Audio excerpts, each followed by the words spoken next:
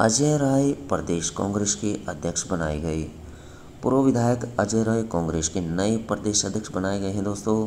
कांग्रेस के राष्ट्रीय अध्यक्ष मल्लिकार्जुन खड़गे ने गुरुवार को उन्हें तत्काल प्रभाव से प्रदेश प्रभारी नियुक्त किया है। उन्होंने मौजूदा समय में प्रदेश अध्यक्ष के रूप पर नियुक्त किया है। मौजूदा प्रदेश अध्यक्ष ब्रिजलाल खाबरी समेत सभी छह प्रांतीय अध्यक्ष भी पद से हटा दिए गए हैं।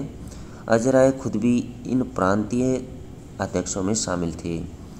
माना जा रहा है कि अजय राय के ज़रिए कांग्रेस भूमिहारी बिरादरी को साधने की कोशिश करेगी।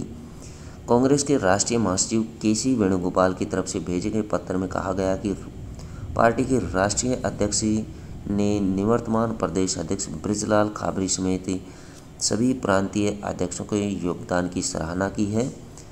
जालौन के रहने वाले पूर्व सांसद ब्रिजलाल खाबरी वर्ष 2016 में बसपा छोड़कर कांग्रेस में आए थे।